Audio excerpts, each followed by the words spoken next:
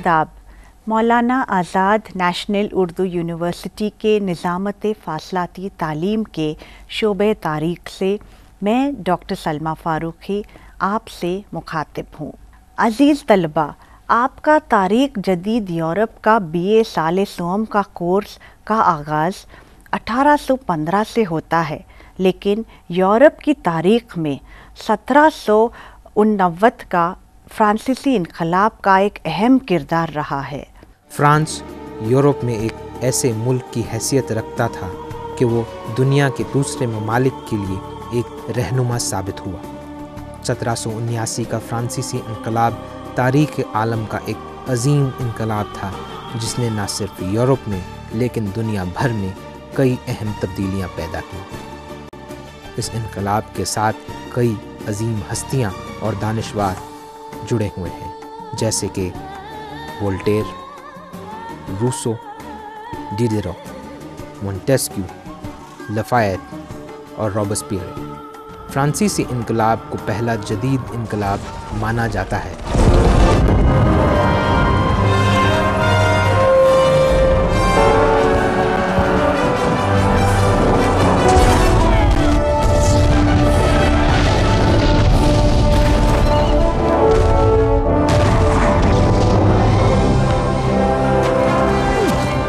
اس انقلاب نے قانون کے تحت فرانسیسی عوام کو آزادی، مساوات اور دوسرے فطری حقوق سے سرفراز کیا تھا اور فرانس میں پہلی جمہوریت قائم کی گئی۔ فرانسیسی انقلاب سیاسی میدان میں کئی یورپی ممالک کی امیریت کے لیے موت کا پیغام ثابت ہوا۔ آزادی، مساوات اور اخوات فرانسیسی انقلاب کے نظریات تھے۔ انقلاب کے دوران آزادی اور اخوات کو حاصل نہیں کیا گیا، لیکن بڑی حد تک مساوات کو حاصل کیا گیا۔ جاگیرداریت کا خاتمہ کر دیا گیا اور تمام خطابات کو بھی واپس لے لیا گیا۔ فرانسیسی انقلاب نے انسانوں کے سوچنے، سمجھنے کے انداز کو تبدیل کیا اور عبوری اور مستقل نوعیت کے کئی فائدے حاصل ہوئے۔ اس انقلاب کے بعد فرانس دنیا بھر میں ایک کامیاب ملک مانا جانے لگا۔ اس سبق سے آپ اٹھارہ سو پندرہ سے پہلے ہونے والے واقعات سے واقف ہو سکیں گے۔ اس سبق کے مکمل ہونے کے بعد آپ کو فرانسیسی انقلاب کی اہمیت، اسباب اور نتائج کی پوری معلومات ہو جائے گی۔ سترہ سو انوت کا فرانسیسی انقلاب تاریخ عالم کا ایک عظیم انقلاب تھا۔ اس نے یورپ میں کئی اہم تبدیلیاں پیدا کی اسے پہلا جدید انقلاب مانا جاتا ہے۔ اس انقلاب کے بعد یورپی دنیا میں کوئی شے جوں کی توں برقرار نہیں رہ سکی۔ تمام انسانوں پر اس کے گہرے اثرات مرتب ہوئے اور فرانس دنیا بھر میں ایک کامیاب ملک مانے جانے لگا۔ چلیے، پہلے تو ہم فرانسیسی انقلاب کے اسباب پر ایک نظر ڈالیں گے۔ فرانسیسی انقلاب کے کئی اسباب تھے، جیسے کہ بوربون کی آمیریت، قدیم سلطنت کے دوران جس طرح کے حالات پیدا ہو گئے تھے، فلسفیوں کی تعلیمات، مالی بحران، امریکی انقلاب کا فرانس پر اثر اور اسٹیٹس جنرل کی طلبی۔ اس انقلاب کی جڑیں لوئی دا چودہ کے دور میں بوئی گئی تھیں۔ لوئی دا چودہ فرانس کا ایک مشہور اور مغرور بادشاہ تھا، جس کا کہنا تھا کہ میں ریاست ہوں۔ ایک طرف فرانس نے اس دور میں جنگوں میں کامیابی اور دربار کی شان و شوکت کی وجہ سے یورپ میں اہمیت حاصل کی۔ دوسری طرف جنگوں اور محلات کی تعمیر میں بے تحاشا دولت خرچ کرنے کی وجہ سے حکومت مشکلات کا شکار ہو گئی تھی۔ عوام کو آزادی سے محروم رکھا گیا، جس کی وجہ سے وہ سیاسی غلام بن گئے۔ لوئی د پندرہ کے دور میں بھی امیریت جاری رہی، جس کی وجہ سے عوام میں ناآسودگی بڑھتی چلی گئی۔ لوئی دا سولہ کے دور میں عوام کی سیاسی ناآسودگی میں اور زیادہ اضافہ ہو گیا۔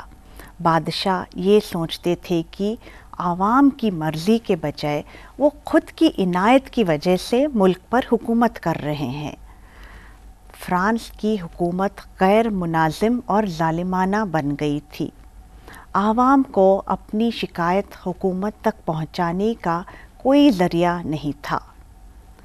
قدیم سلطنت کے دوران عجیب و غریب حالات پیدا ہو گئے تھے۔ فرانس میں انقلاب سے پہلے کے دور کو قدیم حکومت کے نام سے جانا جاتا تھا۔ قدیم حکومت کے دوران سماج تین طبقات میں بانٹا گیا تھا۔ یہ تین طبقات تھے اشراف، اہل کلیسا اور عام آدمی۔ پہلے دو طبقات مراعت سے برابر تھے۔ انہیں محصولات کی ادائیگی سے چھوٹ دے دی گئی تھی۔ تیسرے طبقے کو جو عوام پر مشتمل تھا، وہ بہت زیادہ مایوسی کا شکار تھا۔ اس طبقے پر بہت زیادہ محصولات عائد کیے گئے تھے۔ اس طرح کے حالات بن گئے تھے جو انقلاب پیدا کرنے میں بڑھاوا دیے۔ عظیم دانشوروں جیسے مونٹسکیو وولٹیر روسو ڈیڈروٹ نے انقلاب کا راستہ ہموار کیا مونٹسکیو اپنی نے اپنی مشہور کتاب اسپرٹ آف لاز میں کہا کہ حکومت کے اداروں کو علیحدہ کرنے سے آزادی کا تحفظ کیا جا سکتا ہے وولٹیر روشن خیال آمیریت کو حکومت کی بہترین شکل سمجھتا تھا، لیکن اس نے حکومت کے ظالمانہ اقدامات پر سخت نکتہ چینی کی اور فرانس میں آمیریت کے خلاف ادبی جہاد جاری رکھا۔ یہ ہے روسو۔ روسو نے سماج کے مکمل حق اور آزادی کی وکالت کی۔ اس طرح دانشوروں نے ایسی باتیں اٹھائیں جس سے لوگ متاثر ہوئے۔ لوئی د پندرہ کے عہد میں حکومت کو شدید مالی بحران کا سامنا کرنا پڑا۔ یہ فرانسیسی انقلاب کا ایک اہم ترین سبب رہا۔ لوئی د پندرہ کے دور میں جنگوں اور دربار کی شان و شوکت کی برقراری کے لیے بے تحاشا دولت خرچ کی گئی تھی۔ فرانس امریکہ کے جنگ آزادی میں شامل ہوا اور حکومت نے مختلف شعبوں میں غیر ضروری اخراجات کیے، جس سے فرانس کی حکومت کا دیوالا نکل گیا تھا۔ انقلاب کے چند برس پہلے فرانس کا سالانہ خرچ ایک سو پچیس ملین لیور تھا اور سترہ سو اٹھاسی تک فرانس کا قومی خرچ تین ارب لیور ہو گیا تھا۔ لوئی پندرہ نے حالات کو بہتر بنانے کے لیے انہی وزارت مال کے قلمدان سے سرفراز کیا جو معاشی اصلاحات کی وکالت کر رہے تھے، جیسے ٹورگوٹ اور کلون۔ مالی بحران بہت شدید تھا اور اقدامات سے کوئی فرق نہیں پڑ رہا تھا۔ لوئی د پندرہ کو حکومت چلانے کے لیے پیسوں کی سخت ضرورت تھی۔ اس نے فرانس کی پارلیمنٹ کو اس امید پر طلب کیا کہ وہ مطلوبہ مالیہ کی منظوری دے گی۔ قیمتیں بہت بڑھ گئی تھیں اور لوگ دیہاتوں سے پیرس اور دوسرے شہروں میں بسنے لگے۔ امریکی انقلاب کے واقعات اور جذبے کو دیکھ کر فرانسیسی لوگ متاثر ہوئے اور اپنے ملک کے عمرائے حکومت کے خلاف بغاوت کرنے پر اتر آئے۔ فرانس نے امریکی نوآبادیوں کی اخلاقی اور مالی مدد کی تاکہ وہ برطانوی سامراجیت کے خلاف لڑ سکیں۔ ہفت سالہ جنگ یعنی کہ یورپین ہسٹری کا سیون ایئرز وار کے دوران ہندوستان اور کینیڈا میں فرانسیسی نوآبادیوں کا خاتمہ ہو گیا اور فرانس نے برطانیہ کے خلاف امریکی نوآبادیوں کی آمد کی۔ یہ ہے لفایت، ایک دیگر سپاہی۔ لفایت اور جن دیگر فرانسیسی لوگوں نے امریکہ کی جنگ آزادی میں حصہ لیا تھا، انہوں نے فرانس واپس لوٹ کر فرانسیسی عوام میں جوش پیدا کیا تاکہ وہ بوربون آمیریت کا تختہ الٹ دیں ایک انقلاب کے لیے جو مواد ضروری ہوتا ہے، وہ سب فرانس میں سترہ سو انوت میں موجود تھا۔ سترہ سو انوت کے ابتدائی مہینوں میں اسٹیٹس جنرل کے لیے انتخابات منعقد کرائے گئے۔ اس کا پہلا اجلاس پانچ مئی سترہ سو انوت کو شروع ہوا۔ یہ اجلاس دو سو پچاسی عمرہ، تین سو آٹھ اہل کلیسا اور تیسرے طبقے کے چھ سو بیس نمائندوں پر مشتمل تھا۔ لیکن ووٹ ڈالنے کے سلسلے میں تیسرا طبقہ پہلے دو طبقوں کے برابر نہیں تھا۔ چونکہ مسئلے کو حل نہیں کیا گیا، اس لیے تیسرے طبقے کے اراکین نے اسٹیٹس جنرل کی عمارت کے بجائے ایک ٹینس کورٹ میں ملاقات کی اور انہوں نے مشہور ٹینس کورٹ کا حلف لیا۔ انہوں نے عہد کیا کہ وہ فرانس کے لیے ایک دستور کے مرتب ہونے تک قومی اسمبلی کو تشکیل نہیں کریں گے۔ بادشاہ کے خلاف تیسرے طبقے کے نمائندوں کی بغاوت انقلاب کی پہلی علامت تھی۔ چودہ جولائی سترہ سو انوت میں بیسٹیل کے زوال سے فرانسیسی انقلاب کا آغاز ہوا۔ فرانس میں اسی مہینے کئی مقامات پر جاگیرداروں کے خلاف کسانوں نے شورشیں کی۔ قومی اسمبلی نے چھبیس اگست سترہ سو انوت کو انسانی حقوق کا تاریخی اعلان کیا۔ یہ اعلان برطانیہ کے حقوق کے قانون سے مشابہت رکھتا تھا۔ اس قانون کے تحت فرانسیسی عوام کو آزادی، مساوات اور دوسرے فطری حقوق سے سرفراز کیا گیا۔ اس حقوق کے اعلان نامہ میں مذہبی آزادی، صحافت کی آزادی، ظالمانہ گرفتاری کے طریقے کی بھی آزادی شامل کی گئی۔ چھ اکتوبر سترہ سو انوت کو ہزاروں خواتین پیرس سے ورسیلس کے شاہی محل کی جانب پیش قدمی کی۔ یہ ہے ورسیلس کا شاہی محل۔ سینکڑوں مرد بھی خواتین کے اس جلوس میں شامل ہو گئے۔ بادشاہ عوام کا قیدی بنا دیا گیا تھا۔